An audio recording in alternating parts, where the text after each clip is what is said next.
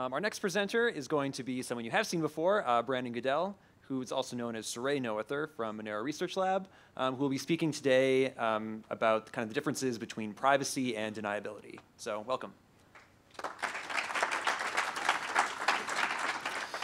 Hi, everyone. Uh, I heard a story a long time ago, and I have no idea how to attribute this story to anybody. So if anybody can educate me about my own anecdote, that would be very helpful. Uh, rumor has it, years ago, somebody asked a Google engineer about how good Google's search was, and he said something like, well, on a scale of 0 to 10, and 10 is like God's search engine, Google's at a 2, and everybody else is at a 0 or a 1. And uh, I want to start my talk today with the idea the proposal that the best privacy currencies on the market right now are at a 1 out of 10 and that everybody else is at a 0 out of 10.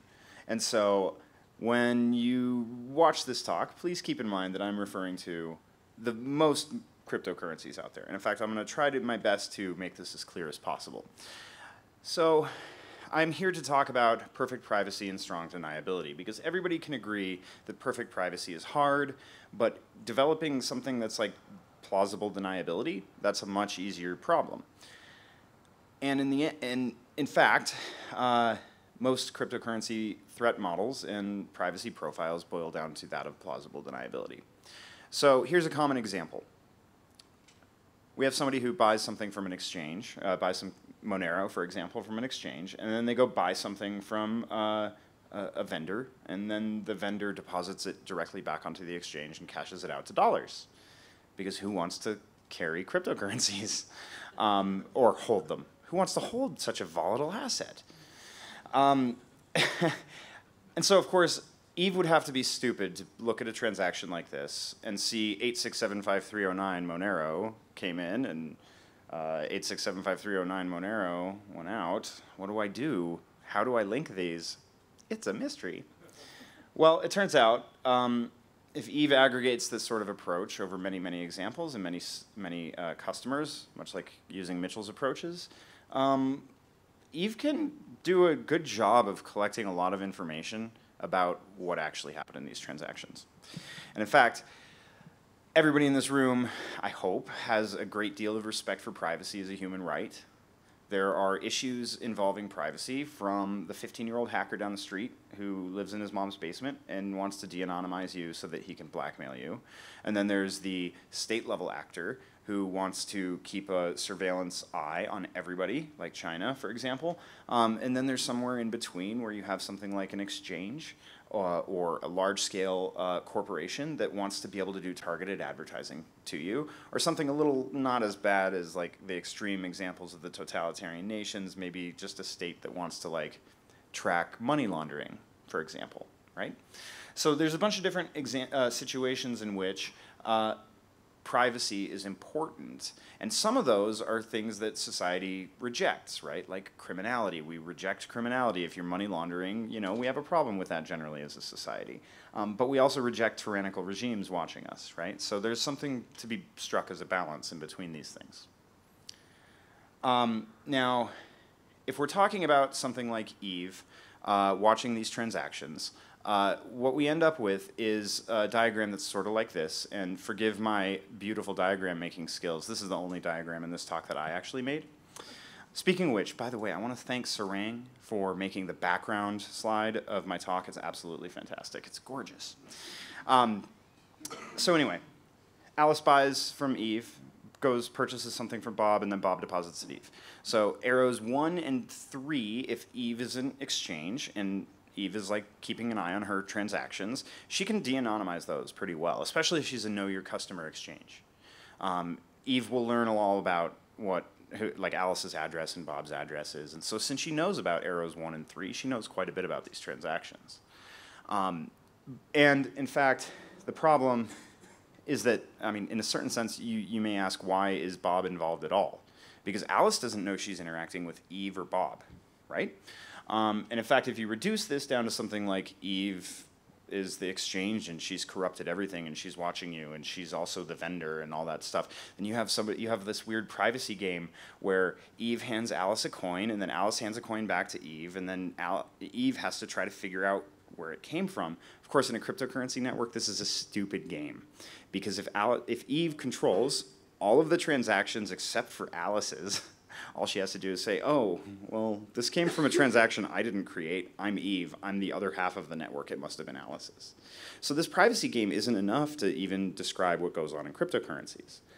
Um, the, this is why we refer to this as the EABE problem so far in our conversations on Monero Research Lab. Now, um, Mitchell's talk was about a couple of ways that, a couple of statistical signals that Eve can latch onto in order to de-anonymize the network. Instead of looking at the statistical signals, I'm actually looking at the computational puzzle of drawing those red lines in Mitchell's talk earlier through the blue tree.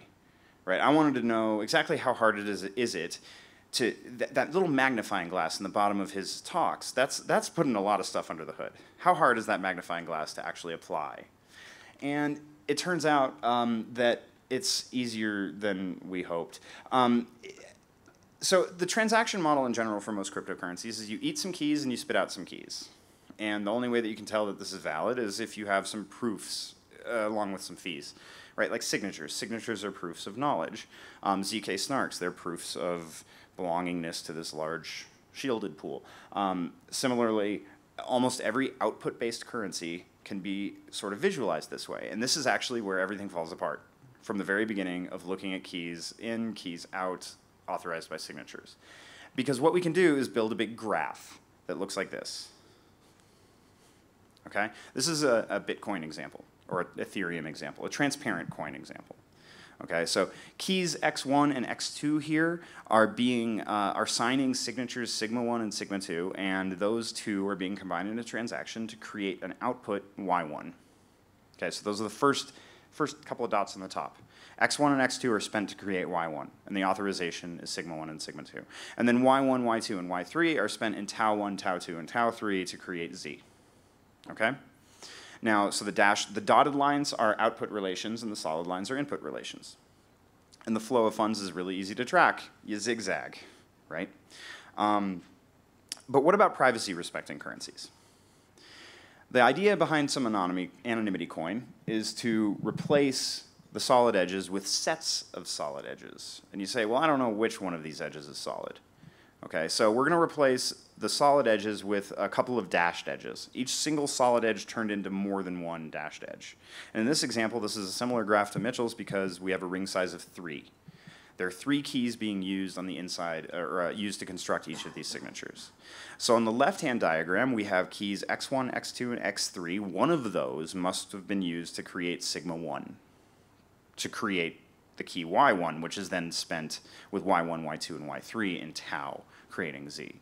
That's the one on the left. So there's a clear flow of funds, right? x1 got spent in sigma, and then there's the dotted line, and that was used to be spent in tau, and that's another dotted line. So you can zigzag. On the other hand, on the right-hand side, we have a conflicting transaction history. Sigma and tau have nothing to do with each other on the right hand. There's no flow of money here, right? Tau is signed by Y2. The output of sigma was Y1, so there's no flow. So, what do we do with all of this? Um, we play a game called matchmaking or, ma or, or, matching, and this is one of the first. This is this is actually the sort of depressing part about this talk the first thing that you learn in graph theory, in, in like a graph theoretic class, is the matching game. It's like one of the oldest solved problems. It's used in hardware design and hardware analysis all the time. It's like the most optimal algorithms today that I'm going to be presenting here, or at least some variant of them, they were created in the early 70s or the late 60s. Right? So this is a solved problem. Matching is not hard. Going from excuse me, going from a diagram that looks like this with all dashed edges to a diagram that looks like this with just solid edges, that's computationally extremely easy. And that's what I'm talking about today.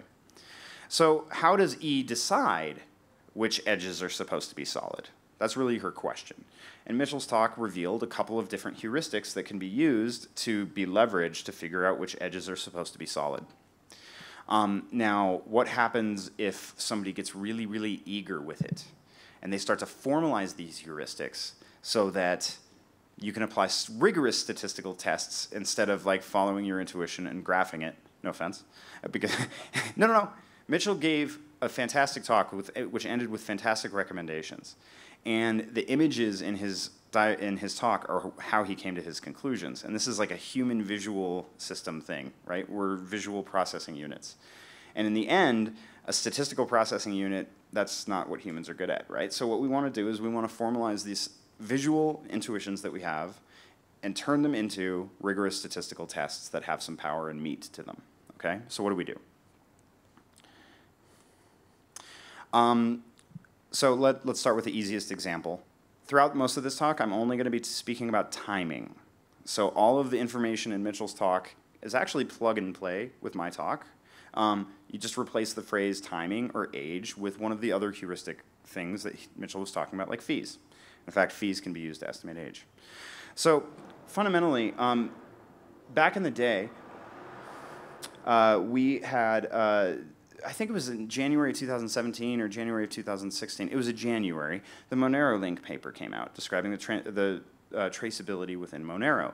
And Andrew Miller, one of the authors of that paper, proposed the guess newest heuristic. And Mitchell already described this to you. If you have a bunch of transactions and the first one is usually the true spender, then you can just go through and just guess true spender, true spender, true spender.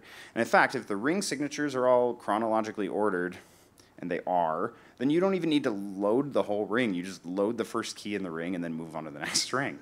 Okay? Um, so how do we formalize this? What we can do is kind of get a grip on what is driving the guess newest heuristic is that the wallet distribution is picking too many old outputs and not enough new outputs. So there's a gap between the wallet distribution and true behavior. Okay. Now we can all argue about whether or not uh, ground true behavior really exists, but that's way beyond the scope of this talk. But what we can do is hypothesize something, like f zero. f zero is a, some hypothetical probability mass function that is deciding how the probability that you wait a certain period of time before you spend a coin. Okay. And if I have an idea of what your spending behavior is, for example, the periodic graph that Mitchell showed earlier that had bright dots that were spread out, that could have been a magazine subscription, right? It was like every week or every month or whatever, right? So if we have a hypothesis about that, then our F0, this informs what our F0 is. We come up with some distribution that has some periodicity behind it. And then we apply some approach, drawing lines, and then we come up with a better distribution, F hat. And then we do this over and over again uh, over many, many customers, and we sell our data to Facebook or FBI. And we hope that Amanda's talk earlier about how data is a tertiary or a secondary market saves us as Monero users. Okay, that's not an acceptable situation, especially if our design philosophy is Monero safety first, users first. Um, some people use Monero for life-saving reasons, and uh, if we are coming across problems like this, then we need to make it very clear to people what the capabilities of our software are. And this also goes for every other privacy cryptocurrency, by the way, before I switch over. Um, let me go back, just so I don't distract you guys with math. Every other private cryptocurrency is having similar issues with this linkability thing, but every single private cryptocurrency says, we're the private one. Those other guys are jerks.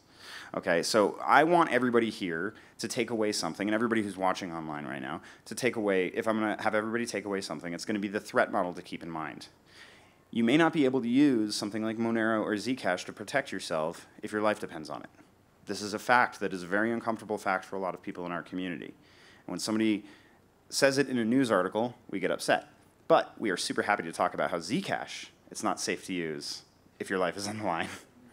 so as far as that goes, I want to make sure that everybody in the room is, is clear on the fact that I'm talking about all currencies and that we're at a 1 out of 10.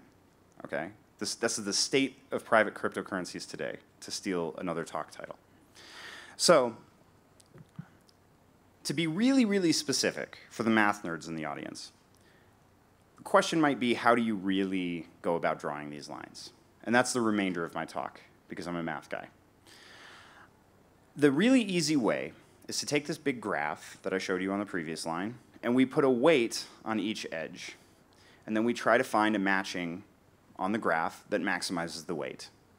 And this is what I meant or on the previous slide when I asked, how does Alice decide which edges to include? I put a weight on each edge and I say, ah, I want the heaviest possible choice, right? So what do we do? Looking at timing, age of outputs, what we can do is uh, assume independence between the outputs, and uh, we can, oh, there's a spelling error. Um, likely is it that the edge xi goes to sigma. Anyway, so we define the likelihood that an edge should be included in the solid matching in the usual way by assuming independence. And for the statisticians in the audience, this is an obvious thing to do. Okay, we take the product of the probability functions. Okay, and if we want log likelihood, we would take the logarithm of the probability functions, and that means just adding them up. Okay, so the thing is, here's the, the here's the bad part. FW is the wallet software distribution. So you can go and look up in the code exactly how to compute FW. F0 is your hypothesized information. So the vast majority of the information that's stored in this ring signature, A1 through AN, in terms of the ages anyway, um, the only one AI, that's the true signer, only one of those things is using unknown information. The rest of this product, we know all of it. So there's really only one little missing piece of information. We may not know which one of these uh, AIs are missing, but we know how to we know that only one piece is missing, and this is really powerful. So, um, before we continue, I can see now why you were saying that this was a slightly out of context slide. Um, if we can, if if one of you is sitting in the audience and you're thinking, gosh, this statistic is really hard, you'd have to be a mathematician or a statistician to do this. You have domain knowledge. How do we have this? I mean, how do we gain this domain knowledge and how do we protect ourselves? Well, the answer is if you have domain knowledge, you can almost always protect yourself. I mean, everybody remembers the show Dexter, right? You have the blood, anal- blood spatter analyst guy who happens to be a serial killer, and he uses his years and years of education in blood spatter analysis in order to hide the fact that he's been murdering people for years. Right? So if we're going down that route, what we're talking about is using statisticians to very cleverly construct a bunch of evidence that makes it seem like they are not the person who did it. And in my mind, that has a bunch of different flaws in it. For one thing, you can't use this in a court of law. You can't say, well, I'm innocent because somebody could have faked that evidence. um, that blood splatter over there could have been totally faked by Dexter down the street, sure. But that doesn't make it like a plausible legal defense. Um, so, if it takes special domain knowledge to get away from this, and if it's really fast to do, then what somebody can just do is like hire a couple of PhDs, give them access to an Amazon uh, you know, cloud service and just be like, hey guys, go at it. Figure out the Monero blockchain. Figure out the Zcash blockchain. Oh, and by the way, since heuristics from multiple sources can be combined for more powerful heuristics, you may as well use information from the Monero blockchain on the Zcash blockchain. And then what's going to happen is these guys are going to build some algorithm, and they're going to use the Hopcroft, Hopcroft Karp algorithm to find a maximal matching, and then they're going to use a similar algorithm to find the heaviest matching, and these are all a bunch of numbers that might distract the people in the audience who aren't related, or numbers, letters, um, that uh, might distract the non mathematicians in the audience. But in that graph that I had earlier, um, E is the number of edges, that's the, the lines, and V is the number of dots. So when I say big O of E times the square root of V, I mean I take the number of edges, I take the square root of the number of keys, I multiply them together, and that's how long it's going to take but it's parallelizable, so I can just do it in 10 cores and then take one tenth the time. Or I can do it in 100 cores and take 100, one one hundredth the time, right? So these numbers can be made as small as they want. And this is why I say that every cryptocurrency has this problem right now. If you're a big fan of the Zcash uh, sapling pool, and you're like, ah, cool, the sapling pool, it's like they got rid of the problems with the trusted setup, man. Yeah, but you still have a nice small pool, and it takes like almost no time whatsoever to guess a transaction history that seems statistically plausible. Which leads us to plausible deniability. Okay? So in Monero, by the way, uh, the number of edges we have here is our ring size r times the number of keys. So this even reduces further to this more reduced equation. So if I, instead of double, if I double the number of keys in the blockchain, it less than quadruples the amount of time it takes for me to de-anonymize these things, right? That's what that v to the 1.5 means.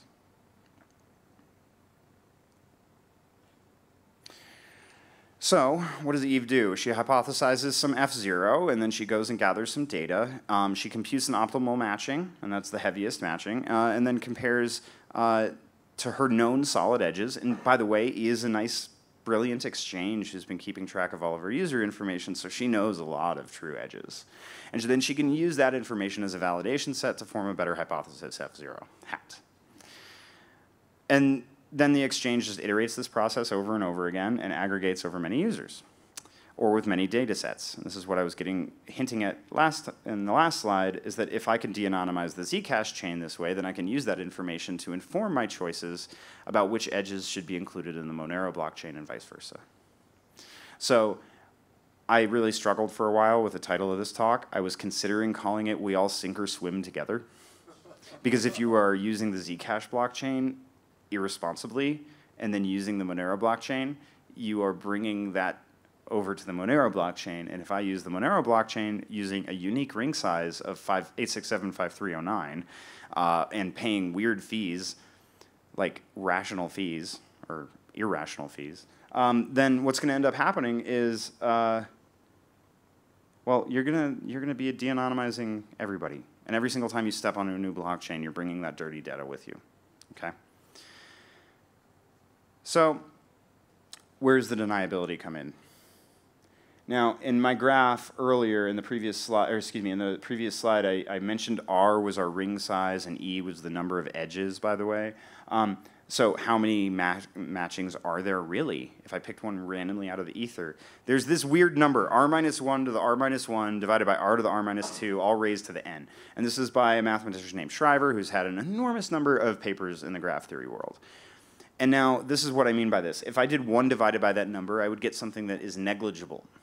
Now, negligible in the cryptography world is a great thing to have because it means that it is really unlikely that something becomes a problem. If I pick a single matching out of a massive, massive pool, um, and I have one divided by this number probability of like being correct, then uh, what I'm going to end up with is I'm probably not right.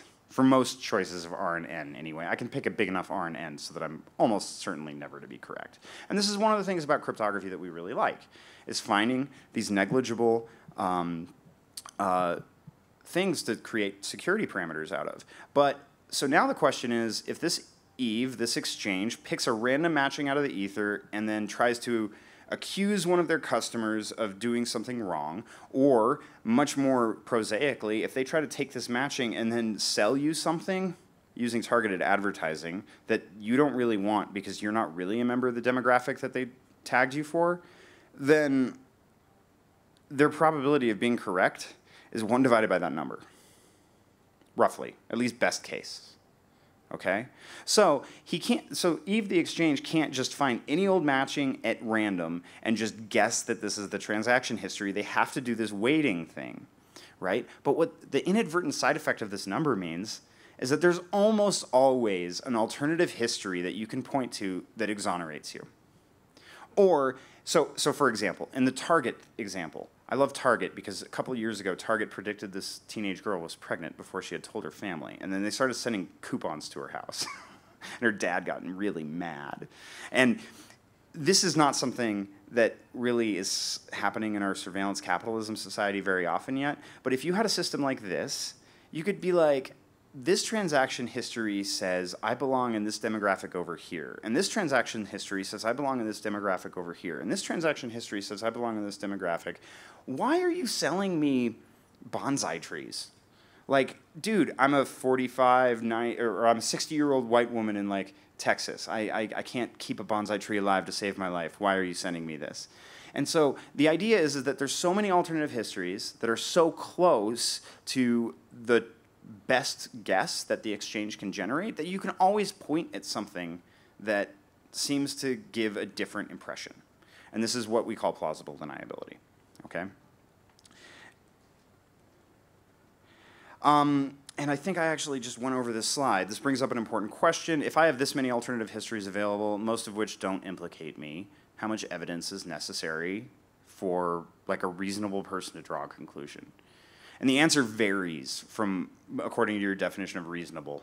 Okay, so a couple of examples that we've already gone over. Should corporations even attempt to target advertising with so many self-consistent alternatives? Isn't it a waste of time? Um, on another track, like how many false negatives are they actually throwing into their advertisers advertising dollars at, right? Like the Target example. Um, should law enforcement even bother with evidence that can be plucked from a system that has alibis built into it? I'm not so sure about any of these things. And these all address different threat models, some of which are criminal, some of which are dealing with tyrannical nations, some of them which are dealing with Target trying to sell you something that you don't really want.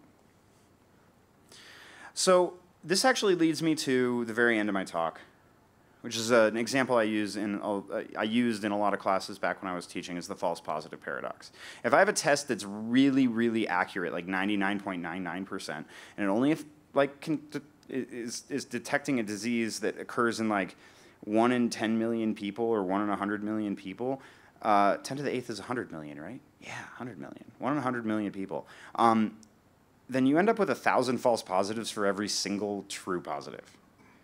This is what's called the base rate fallacy, and every single first year doctor learns this in medical school because if you apply a naive cancer test to somebody and you come back and you're like, oh, you tested positive. Well, you might want to test again because a thousand to one says I'm still not sick right? So this is something that we discuss a lot in things like engineering, um, in medicine. Um, it's not something that I've heard discussed much in cryptography so far, or cryptocurrencies so far. Um, now, one thing that we use to get around this problem is to look at the statistical power of a test. Instead of looking at like the accuracy of 99.9%, we look at the statistical power and we define that very rigorously. And it's a fact that as the ring size of Monero increases, the power of these tests go to minimum. It's also a fact that something that is at minimum, like a totally shielded pool, is probably going to be the best possible performance we can expect.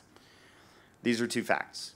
We also have the fact that our ring size is at 11 and that these other examples have ring sizes in the millions, right? If you look at a ZK snark as a ring signature on the entire set of keys in the blockchain, uh, then it's, it's, which is not a correct way of looking at it, but if you look at the anonymity set as, the, as that, um, that what we end up with is Monero is here and Zcash is over here, and as ring size gets bigger, we approach that anonymity performance. Of course, what I'm sweeping under the rug is the transparent pool. So here's what we generally get, and by the way, thank you again for Mitchell for uh, making these figures. Um, running a conference is busy work. Um, so the power of this test is going to drop as the anonymity set size increases. So we start with um, a minimal anonymity set size, which is probably like one, right? Like Bitcoin, you know exactly who signed what in Bitcoin. That has a 100% power test associated with it. And as ring size increases, out here we might have something like pirate chain, which is new enough for me to regret mentioning it in public, but um, it looks cool. Um, in fact, it's, uh, it has no transparent pool, and it's using the sapling parameters. And so out here, you have this massive, massive anonymity pool. Um, over here, you might have something like Zcash, or maybe Zcash is over here. Somewhere in between, you're going to have Zcash and Monero. And it's not clear to me where Zcash or Monero lie in this line. And so this, every single adversary that you are going to be facing, every single threat model that you have to deal with, there's going to be some threshold, P star, that they can't tolerate lower power than that. Right? So for example, if if I'm trying to convict somebody like the worst criminal in history, I better be sure because if I go to court and I am not sure, I'm going to have a really uh, let's see here. Uh, yeah, if I go to court and I'm really not sure, then I might end up letting a criminal free, and because of double jeopardy, they're free forever, right? So we want a really high power if we're law enforcement and we're trying to sue people. So we're up here. On the other hand, if you're a target and you're just trying to do advertising dollars and that's the cost of losing is not like letting a murderer on the street, but just like a couple of adver advertising bucks, you can tolerate a much lower power. So we actually have a graph that looks something like this. An adversary with high standards can tolerate a ring size that is no bigger than here. An adversary with me medium standards can tolerate an uh, a ring size that's like about here. And an adversary with really low standards can get away with linking transactions with a huge ring size. Okay, so in this graph, red means we should increase our ring size, and green means we're already good enough and we increase our ring size, that means that we're wasting space and time. So, in the end, here's the conclusion. Every privacy respecting currency as it stands is at a one out of zero, one out of ten in private in, in terms of privacy. Every other private, every other cryptocurrency is at a zero out of ten. Um, privacy respecting currencies can only provide plausible deniability. No such thing as a perfectly anonymous currency. If you're using Zcash, but the feds are physically tracking you in person, it doesn't matter that you're using Zcash because they watched you buy or pick up from the mail whatever it was that you bought. On the other hand, if you're being tracked by Target, um, again, there's no such thing as perfectly anonymous. Target know, can probably buy data on you from also Walmart and then use that to leverage against you. So no matter what, you're not going to you're not going to get much other than plausible deniability. And as anonymity set size increases, the claims of plausible deniability get stronger, and we tap out at some maximum level um, but we should probably stop at some level that we consider to be good enough. Um, but for a sufficiently large anonymity set size, I missed, I, I, I, I, I regret this final line. I regret this final line. Uh, remove the words default on and opt in from this sentence. For sufficiently large anonymity set size, small anonymity sets might perform large sets. And what I mean by this is when we're talking about transparent pools if you have small anonymity sets that is default on and there is no transparent pool, I suspect that there is, in fact, a sweet spot. Um, on the other hand, if you're past a certain point, but you're still using transparent pools, you're actually kneecapping yourself. Okay, um, but this is all preliminary res results that I do not yet have statistical uh, like numbers for. I'm working on simulations. I've been working on simulations while organizing this conference, so I didn't get them done in time. I didn't know I was speaking until about four days ago. So, um, having said all that, um, I really just want everybody to walk away from the criminals in the audience to the dissidents of against like revolutionary, you know, revolutionaries against nasty tyrannical regimes in the audience, to everybody who just doesn't want Target to know their purchasing power, that plausible deniability is all you can really expect out of most of these currencies. And anybody who's trying to sell you anything else is trying to sell you a bridge.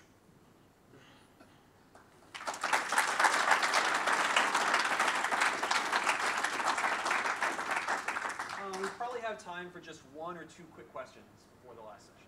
So. You got one over there? Okay. Thank you. So, um, because of what you said about the uh, forensic analysis, which is possible across multiple blockchains, do you think that the Monero community should uh, come to consensus about outlawing cross-chain atomic swaps between Monero and Bitcoin until Bitcoin gets its act together? That's not a question I was anticipating. That's what, I, that's what I'm here for. um, short answer, no. Long answer is it's complicated. And the reason is, is because banning anything on a protocol level can be wildly dangerous. When we're talking about currencies in, in, in general, exchange is uh, not exactly the point of money, but without exchanges, you have no liquidity, no li local liquidity, and you end up with a problem in Venezuela that Jamal was talking about earlier. Um, I, the short answer is if you ban that, I'm not sure if you can really. Ooh, I was gonna say I was gonna say a statement I disagreed with. I don't know. I'll leave it at that. Any other questions right, before we move on? One more question. I have a quick one. Yeah. I'll just use the mic up here. Um, so you talked about there probably being a sweet spot in terms of you know anonymity set size, and that that depends a lot on the power of your adversary. So, just on the spot, what is that number? Do you know what it is? Or do you have an order of magnitude estimate for it? 42. Um, no, uh, I have, um, okay, so the first diagram that Mitchell showed was like a three-ary tree because it split it into three branches at every node, right? Um, in a tree like that, which is like the idealized case, it should be like, you know, you have this exponential growth of three to the n. And in that those sort of examples, I've seen numbers as low as like 23 for ring sizes that seem to be sufficient against reasonable models. On the other hand, that's an idealized model, and in the Monero blockchain, this tree can't grow forever. Eventually, it starts to overlap onto itself because there's only a finite number of nodes. And in the end, uh, it's not clear. But I personally advocate a slightly larger ring size at all times. All right, thank Brandon again.